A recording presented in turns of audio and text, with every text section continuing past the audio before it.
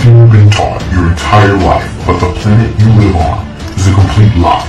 The powers that are in control are backed by evil, and they will stop at nothing to remove the possibility of a creator or God.